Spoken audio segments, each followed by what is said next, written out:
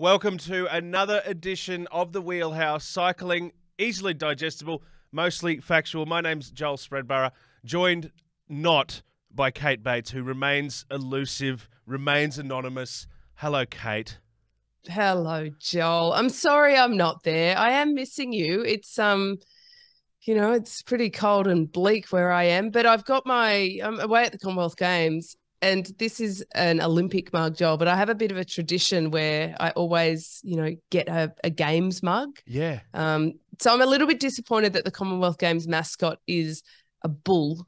Uh, doesn't really do it for me, but you know, I'll still uh, bring a mug home and everyone will be happy. That's awesome. And you know what you do? You warm to mascots. I, I, I reference beavers, I reference squirrels. So I reckon the bull will win you over. And you know what? What I'm what's good is there are fragments of you here in the Wheelhouse Studios backlot, wherever we are. Uh, a Parramatta jersey is here. I Your- noticed that, Jolly. Yeah. You're missing me in there. That's my home club, Parramatta. And I mean, you might notice there's not an eel to be seen on the jersey because the Parramatta Cycling Club aren't eels, but um, you know, my home stomping ground. So you can Yeah. feel like I'm close there. I with the did scour it for an eel. Uh, no eel to be seen. You're, you're correct. Also, a, cut, a cutout of, of you as well. So it's like, oh, yeah, Kate's around. fantastic. But also, you're hovering over me and making sure I don't stuff this up, which, which is good, which is Well, good. and I've got something for you too, Joel. I've um, been commentating this week with Scott McGrory, and uh, Scott. He is also known as Scott Loves a Story McGrory. And uh, so I've got this little device that just keeps him in line, and I thought it might come in handy for you. Um, just a little bit of an egg timer here.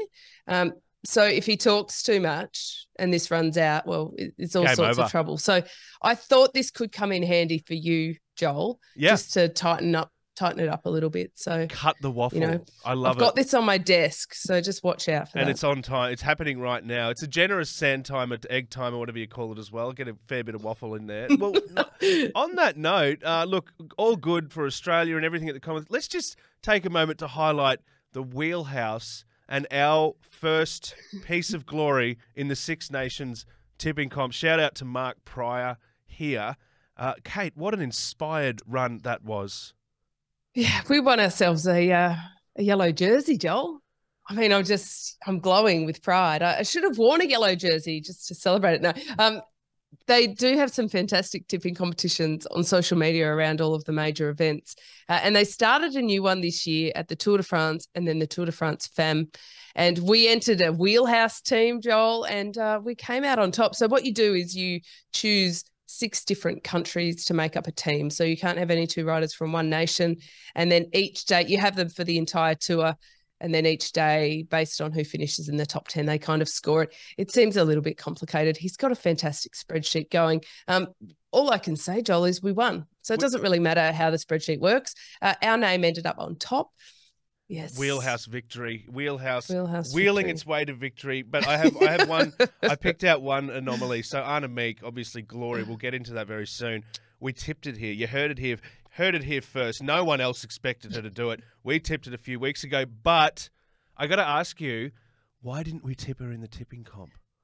Well, because I thought that she'd win by being successful in the last two stages. And so I chose Marianne Vos to get all our points haul. And I think we did well. I mean, Yeah. she's the GOAT, not literally the GOAT, but the greatest of all time. She won so many uh, jerseys, stages along the way. So winner, winner, chicken dinner.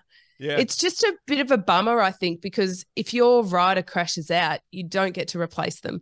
So I think we might uh, get onto Mark to tweak the results a bit because that's what brought us undone, Jolie, in the men's Tour de France one, because we picked Roglic um, over the Podge, and yeah. yeah, Yeah. The just Terminator. it, it wasn't it wasn't a good call in the end. So Yeah, yeah. They, they Yeah. run out of sticky tape for Rog, unfortunately, to put him back together this year. But look, look, next year we'll do it again.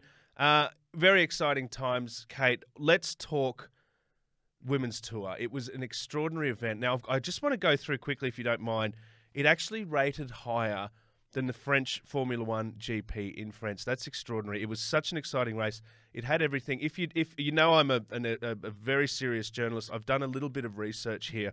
I've got some numbers, if you don't mind. So, if I'll just rattle these off. French numbers: 2.25 million viewers across two channels in France. Across the entire race, 20 million viewers. It peaked at 5.1 million. Now, I'm going to keep running with the numbers because I'm very mathsy, as you know. 45.6% audience share was watching Annemiek's overall crowning, which is extraordinary. Outside France, broadcast into seven European countries, 75 million hours. However that works, that's that is just insane. Eurosport reached 40, 14 million viewers, 22 million views of online videos, and in Australia, 23 people watched highlights of it on the Wheelhouse podcast. I wondered where you're going with that one. I think you're a team accountant by the way you're crunching those numbers. But it's pretty remarkable, isn't it? And that 46.1% audience share on the final stage uh, for Annemiek van Vleuten, uh, that was 1.5 million viewers tuning in to watch the women race. I mean, the next time somebody comes at us with the argument of, you know, there's no money to be made in female cycling, I don't know if they've just got a crap sales team or, you know, don't put anything in the marketing budget, but the numbers don't add up to me. So I think that, you know, it could in many ways really reinvigorate a lot of sponsors and, and bring in a lot of people who wouldn't invest in the men's side of the sport. It's Great so, numbers. I mean, huge success. Yeah, and so exciting. And you're absolutely right. What what a what a magnificent event. Let's talk about Annemiek van Vleuten now. So 39 years old. Uh, I don't want to get awkward here, but I, I, am going to ask: is, is, that old, Kate? To be? Oh, you are you are treading very carefully, aren't you? No, she is. I think a bit of a role model to female athletes in that regard. The biggest reason, in my understanding, and certainly everything I've seen, is the reason that female athletes tend not to still be in sport at 39 and excelling has a lot more to do with lifestyle factors. The fact that there's not a lot of money in pro women's cycling historically, so they've had to um, transition to a career to, you know, pay bills, keep the electricity on, all that jazz. And also, of course, if they want families in a sport where there's been no provision for maternity leave and there's been nothing like that, it's been very hard for women to have children and come back to the sport. So you've seen a lot of women in their early 30s leave the sport because they don't want to have to sacrifice um, the family element mm. uh, for the sport. And so it's been a bit of a complicated mix. And then you enter into a new era where there is a bit more money, uh, where there is choice. So if the athletes do want to have a family and come back, like Lizzie Armitstead is a great example of that, pregnant with her second child, won Paris-Roubaix last year, 18 months uh, after coming back off maternity leave. So it can be done. And physiologically, women are stronger at 39 than they are at 29 in endurance sports. So I think it'll become the norm a little bit more. But I did notice, uh, Joel, at Com Games, there's 15 year old swimmers who are yeah. excelling. And it, it was quite bizarre to me. I was like, they're literally kids. Yeah. You know, they're so young and it's such a different demographic to cycling. But there was also a 49 year old guy in the uh, men's road time trial. And I felt like that was you know, this example to mammals all around the world. Like you can still do it. So there's hope for you, Joel, is what I'm trying to say. Thank you. I was going to say I'm 36, yep. so 13 years to get in, Nick. Okay, yeah, I can do that. Um, look, A- AVV saved the best to last. The question of how she is still good. She, she, there was a slow start for her. Questions around form and all of that kind of thing. Is there egg on faces? It, it, was it was it a yes. like this was always going to happen situation, or did she dig deeper than anyone sort of thought she was able to?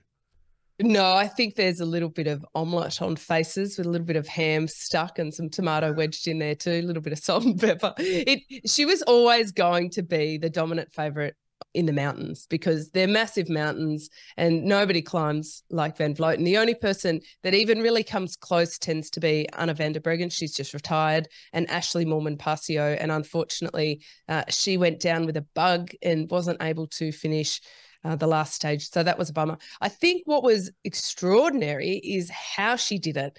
It wasn't an attack at the end and she rolled over the line. There wasn't this battle like we saw between Poggi, pardon me, and Vingegaard. Just, she was just so dominant and they threw everything at her. So she wasn't dominant because they let her go and didn't chase. Mm. They did everything. Like the kitchen sink was getting hurled up the road at her. Mm. Calamity befell her. Nothing was going to stop Van Vleuten. Yeah, beautifully said. And and what a feat to hurling a kitchen sink up a mountain it, to stop her. That, She stayed It's like on the, the bike. X Games. Yeah, It's a bit of a hybrid crossover. Look, she stayed on the bike. Not an easy thing to do. Unlike this motorbike rider and photographer who was unable to handle the 24% incline on the Super Le Ponche de Bellefiel. How'd I go? Close. thank you. Uh, let's take a quick look for those listening on. This is a motorbike rider and a camera operator doing their level best to, to stay in pursuit. Uh, it didn't quite work out for them. Well, 24%. So you can see that on the bottom of screen, just how steep it is and laboring. and Oh, oopsie. I love. You know what I love I'm about sorry, it? I shouldn't laugh. It. I hope they weren't hurt. I believe they weren't, but You know it's serious when the camera operator takes the camera away and stops pointing and shooting. So, because that's the the golden rule where's of the shooting. footage? Yeah. it underscores this the the incredible feat uh, of AVV once again. Now, she broke another record out there. It didn't get the attention of her overall win, but I, I wanted to ask you about this. Six bike changes in a 30 kilometre stretch. Now, is that some kind of world record?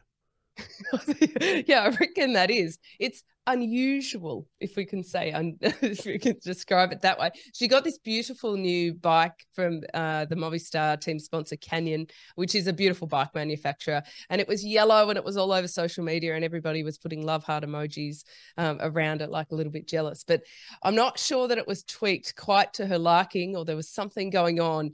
She got off the yellow bike, she got back on it, she changed bike. Uh, it was quite remarkable. I think if you put Benny Hill over a montage of all of bike changes, you could amuse yourself endlessly. Um, so if we could get Merksy onto that, that'd be fantastic. you're giving some real Uh, pop culture insights today. We've gone from Bridget Jones to Benny Hill within two minutes there. That's awesome. Oh, you know, I, I'm working my magic, Joel. What can I say? Look, uh, one thing that did stick out when she was changing bikes, her opponents weren't waiting round. Now, this is a, a question of ethics. I, I do love to ask you about this kind of thing. We've spoken about it during tour time in the past as well. What is up with attacking the yellow jersey in these kind of periods, Kate? Yeah, good question. I think you could probably debate heartily both sides of it. I don't know. I mean, it's etiquette, right? Just in the same way as at Wimbledon, you're supposed to wear white. Ask Nick Kyrgios what he thinks of that. It doesn't go down that well. uh, I like a bit of tradition, and I love that cycling has a bit of gentlemanly aspect to it. I think that there's a line though, Mm. and maybe you wait once for Annemiek, but six times. Like, come on, okay, she's already so leading the race. yeah, She's sure. dominating. If they just sit around and wait for her to get mechanical after mechanical, I mean, it's not very sporting either. and it's probably Um, not as so I don't think the it was a bad thing. Yeah, for the viewers, it's like the 23 people tuning into the wheelhouse watching highlights. Like, come on, get on with it, guys. Stop stopping. yes. Yeah, I met one of our 23 viewers uh, in the Oh. hallway at work the other day too. I, I nearly had to brace myself against the wall. Uh, but yes, I think you're right. It is an entertainment product and there has to be manners, but I think there's a limit to that. So I don't think anybody did the wrong thing there. And anyway, she still won by a romping margin. So it Yeah. didn't affect her. Congratulations to her. Now, Ellen Van Dijk, moving on, Ellen Van Dijk has highlighted the splendor online of post tour crits. Very warm, fuzzy, really lovely. And I, I just have one question about that, if you don't mind. Uh, Kate, what are post tour crits? well, uh, crits like criteriums. Um, I'll, I'll note that we could get very fancy with how to say crits. Um, it's pretty basic though. Oh, Uh, and what they are essentially what they do after the Tour de France is they block off little towns. And when I say block off, I mean like put giant barricades the entire way around the town. And then you have to pay to get in. And then they fill the town with beer tents pretty much. And they pay all the Tour de France cyclists to come and put on a show for them and race. And our criterium is around, you know, a small circuit, just races through the town. But the funniest thing about them is they're all set up. So first they drive around, they drive them around in cars. It's a little bit old school, Joel. They've got the podium girls all dressed up to the nines with their big hair and big makeup. Okay. They whoosh them around town. Everybody cheers and claps, and then they race. Uh, but they also have to wear their Tour de France jerseys. So they'll be wearing their yellow jersey or their green polka dots uh, or what have you. They get paid an enormous amount of money. And then they pretend to race, essentially. They've before they even start, they've got a predetermined finish order. and everybody knows it, but it's still super entertaining. And maybe that's because there's so many beer tents Yeah. that by the time the finish happens, nobody's even really paying that much attention. But it's pretty cool, like carnival atmosphere. And I love it. Lots of fun. It's kind of like the, the the WWE of cycling, the- a staged event. I, I, I, okay, I can see that working. Um, Yep. Now, your favourite, not other than me, Peter Sagan, uh, he's dipping his cleats into the world of e mountain biking. Getting on the trails, he never stops. What's it all about? it's pretty cool, actually. And I mean, can you just add an E to the beginning of everything and make it sound funkier? Uh, e mountain bikes, they're really cool. And the thing to remember is they go so much faster, obviously, because you literally have a motor on the bike. But that changes the skills that are needed. And it makes mountain biking, which can be, it's entertaining to watch, but it's a bit of a hard slog as well sometimes. A little bit more dynamic because you've got a bit more speed going. And uh, then they have to negotiate some of these obstacles going much faster. It's kind of like a mix of cross country and downhill in that regard. And Peter Sagan started his career on a mountain bike. And look, my theory, and I tell you what, Merxy might like lunge through the production suite uh, when I say this, is that Peter Sagan's at the end of his useful life on the road. And I say that with all due respect, but he's an older athlete and he hasn't won nearly as many races in the last three to four years that he did prior to that. But he's a huge name and he's a huge personality. And I think Specialized have had a conversation with him and said, we still want to pay you the big bucks, but why don't we get you across all of these different things? Because you're so marketable and people want to see you and have you out there.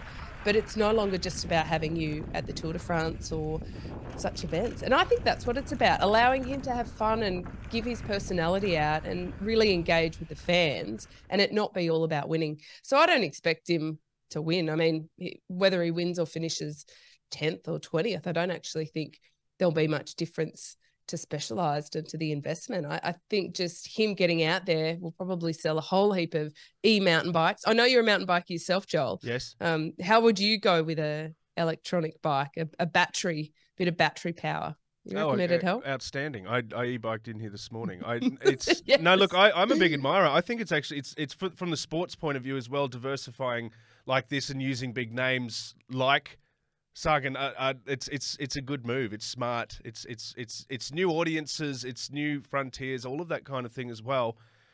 When I first saw it, I'll admit I thought, what? He's playing video games with bikes in? But no, it's not that. It's actually quite exciting. So good luck to him. Yeah. And he rode the Rio Olympics. And that was the first time I ever commentated mountain bike. That was quite a learning experience on the go. But um, what I noticed was he got a lot of flat tires because he had the horsepower in his legs, but he hadn't been on a mountain bike for a while. And so he kept hitting surfaces really hard and getting pinch flats. And it just kept happening to him. And so I'm really interested with a motor in the bike and Mm. even speedier uh, how those skills go. But uh, watch and wait. I'm sure we'll get some good social content out of that. let's go to the com games. I, I don't- I won't go to where you are because I know it's top secret and anonymous and elusive, but we'll stay on the mountain bike. Now, an Aussie, it's the feet stuck out to me, but the nickname, what an extraordinary nickname, has claimed silver on debut in the women's cross country. 21 years old. Zoe Cuthbert, what a legend. Uh, Well, now this uh, nickname that you're talking about is the Flying Raccoon. Yep. I wanted you That's to give it out because you just do the animals so well. And well, look, last night I thought that Davy Crockett wore a squirrel on his head. So I think my heard that. animal identification skills are lacking. Let's just Yeah. say that. But when I heard that she was called the Flying Raccoon, quite beside the fact that she made history winning a silver medal at the Commonwealth Games. So yay for her. We'll say that uh, up front. But moving on to the flying raccoon part, it's like, where on earth did she get that nickname? Yeah. And her mother said she made it up. Like nobody is sure where it came comes from. She thinks she just thought raccoons were cute and she thought she was going fast and all of a sudden she's the flying raccoon. Is it- so ponytail like whipping in the breeze sort of fashion? Any of that? No, going, or any kind no, of and in- raccoon? No. no, in fact she wears pigtails a lot of the time, like double Okay. plaits. I'm just trying to think if I've ever seen a pig-tailed raccoon. I don't think I have. Okay, Maybe a beaver or a squirrel. I don't know. let's go to the velodrome now. A gold rush for Australia, but also at, a bit of an emotional roller coaster in Lee Valley. Kate, you covered it all for Channel Seven, of course. Whew, up and down times. Oof, I tell you what, I don't know if uh, we just need a giant jug of chamomile tea or uh, something like that. But it was a little bit of an emotional roller coaster. There were lots of moments that really stood out to me. But, you know, I think that I had the absolute pleasure of being able to commentate the women's points race amongst all the other events. And that's a very special one to me. And to have an Australian winner, uh, Georgia Baker, that was a real moment for me, a, a bit of a goosebumper. You were you said that with such humility. I'm going to to do this to you now. Georgia Baker, uh, a statue in Tasmania, is in discussion. She was brilliant, but you are a former gold medalist in the very same event, and if I may, the only person to win it twice. You got to call it.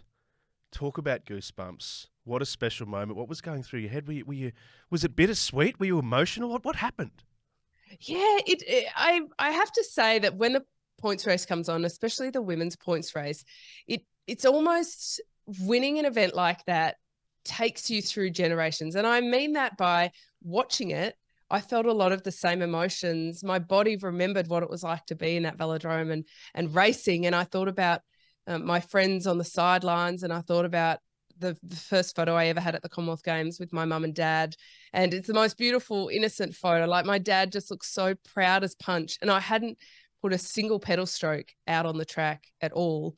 Um, but it was a real family experience because I think when you get to one of those events for the first time, it you realize how much everybody has put into that effort.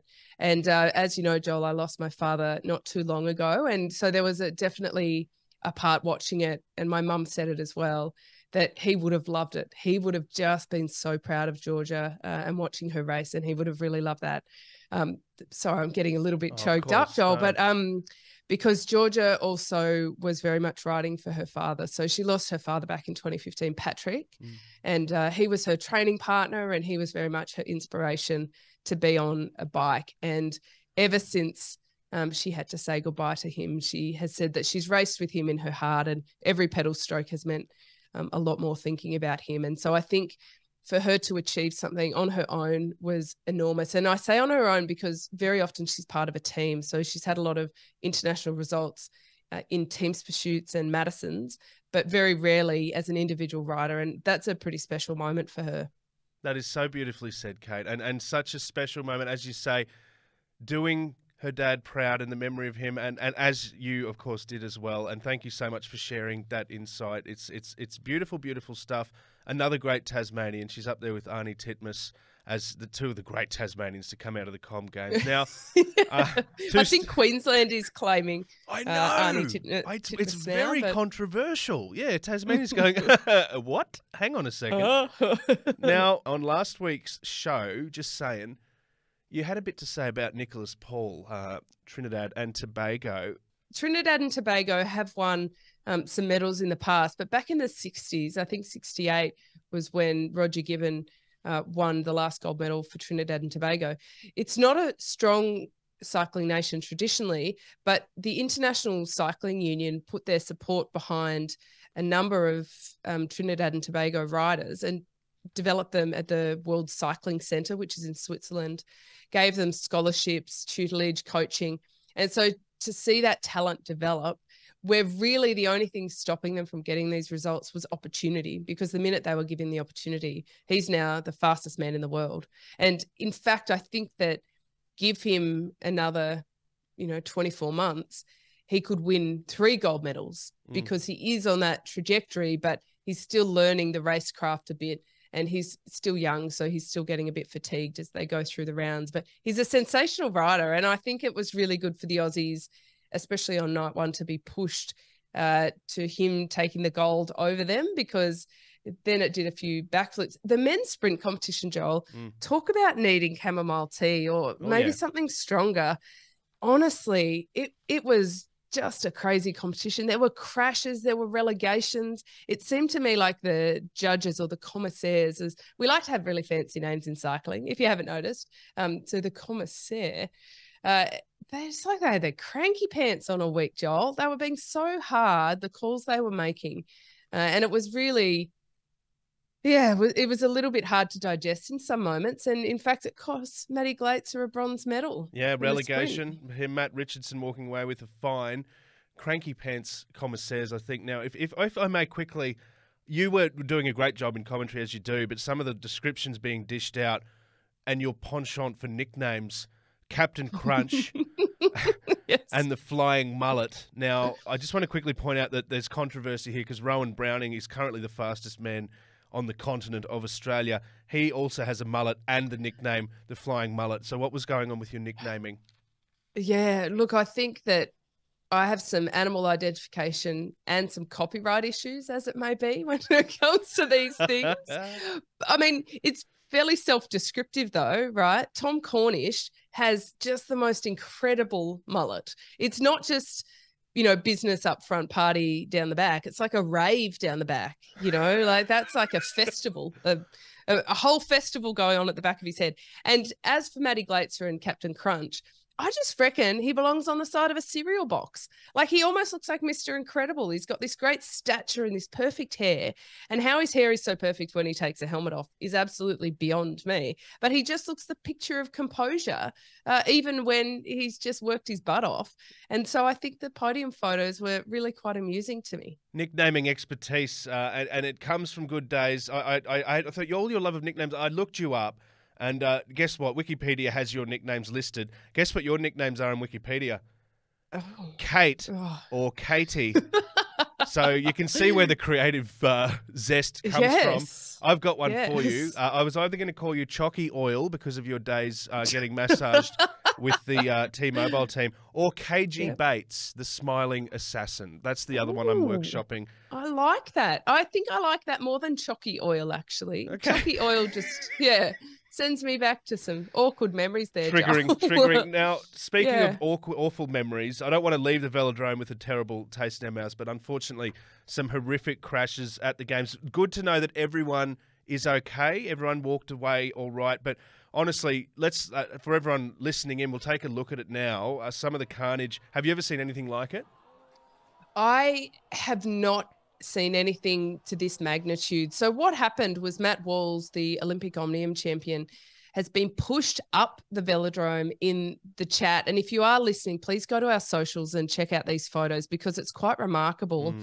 Uh, unfortunately, the Aussie Graeme Frislie also went down, but Matt Walls flies over the fence, quite literally flies over the fence, him and his bike. Uh, they're traveling around 70 kilometers an hour. It was really confronting. We can only chat about it and show it, Joel, because everybody remarkably is fine, Yeah. like out of not even broken bones. And it, it blows my mind because at the time we thought it was very, very serious. Uh, we understood that spectators were involved and children, and we were very Yep. scared for that. Thankfully, just some cuts and bruises for the kids. Um, I'm not sure they'll sit front row at a velodrome again, but I would definitely, it's not a matter of safety because I would sit my kids in the front row of a velodrome. It's a freak accident. Yep. It was de- very difficult to watch. And I think everybody was just shocked and mortified. The fact that they walk away, these guys are superheroes. I mean, he looks like a superhero kind of flying up through the air, but somebody was on his side. I'll say that. Yep. The universe uh, wanted a good outcome for him and um, yeah thankfully all of all out of hospital by that night back on social media that's usually a litmus test of how somebody's doing if they're tweeting within 12 hours of an accident Yep. you can be comfortable that it's not too bad quick to post. Uh, as you say, distressing scenes. Maddie Wall, there's one of those stills. There's a little girl sitting in the front row with a look of abject terror on her face. Uh, not what they not what they expected, but good to see everyone was okay. Some people like knocked out cold on the track. Distressing images to see, but good to see they got through it. And and extraordinary times in the velodrome. There's- there- moving on, there's only one cycling event left, of course, the road race. But uh, overnight, an Aussie romp in the time trial. Uh, Grace Brown and Rohan Dennis doing the business, Kate. they rode tremendously It- to start with the women and grace brown she's planned her entire season around the Commonwealth Games and then next up the Wollongong World Championship. So not only did she smash it in last night, but it gives me a lot of confidence uh, heading into the end of September that she could have a really good World Championships. She came back to Australia a couple of weeks ago to take a break to see her family and her husband because she's away for the full year. Headed back to Europe and then rode the Women's Tour de France. And it was so tough for her. She had some fantastic quotes uh, on social media actually that racing up those mountains wanted to make her crawl into a cave and crawl up and die pretty much Wow, like wow. so tough and she did say in her post race interview that she was quite tired and she was a little bit worried how, whether she'd recovered enough from the Tour de France fam or whether she'd have a bit of fatigue going into there. But she was just so good, so dominant. And it was almost Grayson and then the best of the rest.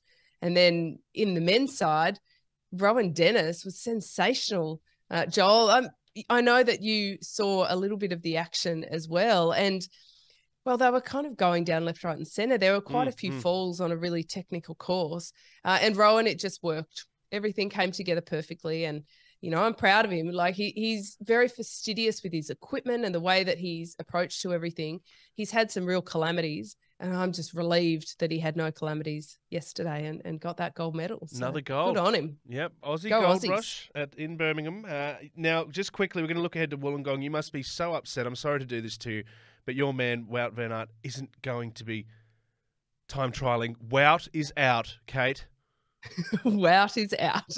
Woot is oot. Oh, he's not Canadian, but for a Canadian, it would be Woot is oot. Yep, yep. Um, and I think Davy Crockett's a Canadian to bring it full circle. Oh, good. I'll have to look that one up. It's a real bummer that he's out, but the good part is that all his focus is on the road race. So he will still be making it down under um, to Wollongong. I'm also working on the coverage, Joel, and I just have this quiet little hope that he might get a result and come up on the panel and we get to interview him. See, it could it could work out. It could so work out. We might even I'll get him on the throw that out there. Yeah. Oh, yeah, yeah. that would be sensational. I yeah. mean, I'd let you talk a little bit, Joel, but yeah, yeah. I love how your first thought wasn't the wheelhouse. Then that was a good insight. Um, the absence could set the scene a little bit for Tom uh, Dumoulin as well. It could. Uh, he's retiring at the end of the season, and he's just a tremendous personality in the sport. But he said he wants a little bit more um, work life balance, as it may be, that he hasn't been feeling all the feels in cycling for a little while, and it's time for him to move on. For him to go out um, wearing a rainbow would be pretty good. And I think Van Aert being out, Rohan Dennis will probably remain, and Filippo Ganna, the Italian, the biggest challenges to him. But my eyes are very quickly turning to Wollongong and the and the road leading in there because I think especially for the Aussies and the Aussie fans, having a home world championship is you know rare in any career or um, a fan's lifetime. So that's where the focus is going for me. So last night's time trial was a good little warm up. Let's just say that. Finally, before we go, Kate, this week drama and glory for your mate Logan from Logan. Um, Logan Martin, I refer to. First question, what happened? Second question, when is he coming on the show? well, I still I never caught him through the airport, Joel. But uh, now that he's been in the states and he's transiting back to Logan, I might be able to, you know, go and stalk him at the airport. And try and yeah. find him. Yeah. Now he won the X Games, so that was a pretty impressive ride for him because coming into his final run, he was sitting in seventh. Uh, he'd been robbed overnight, I believe. He'd had his uh, wallet and passport stolen, and things weren't going too well for him. Um, and he just came out of nowhere and blew everybody away. And his competitors, they knew. I think the, the looks on their faces when he was out doing his run were all a bit like, dang, he's really pulling that together. So we're a bit proud of our boy Logan from Logan. Um, and I'm working on getting him on the show, Joel. Although, considering you live literally around the corner from him, yeah, I don't know. Perhaps you could put yeah, yeah. No, I well, I'm going to take the mountain bike there and do some jumps with him, and, and we'll bond over aerials. Uh, that's the plan. Kate Sounds Bates, fully sick. Thank you. Like fully sick. Uh, Kate Bates, take care of yourself. We'll we'll see you again soon, hopefully for episode five. Uh, if you're around, but otherwise, enjoy your anonymous location. Rug up. Uh, it's always such a pleasure to chat cycling with you. Thank you, Joel. Oh, we'll be back in real life uh, to wear that Parramatta jersey for real. And uh, the good news is you didn't expend the egg timer. Oh, good. So Thank you. You're I'm allowed so back for another week. I got one more week, a stay of execution for me. This is the Wheelhouse podcast, mostly factual, easily digestible. My name's Joel Spreadborough. Kate Bates is here as well. We'll see you again next time.